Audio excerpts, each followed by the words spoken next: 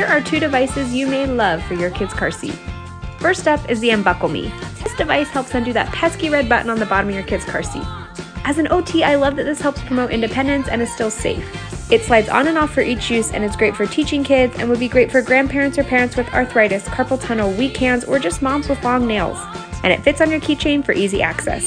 Step is the travel tray. This thing is bomb. Fits in most standard car seat cup holders and strollers.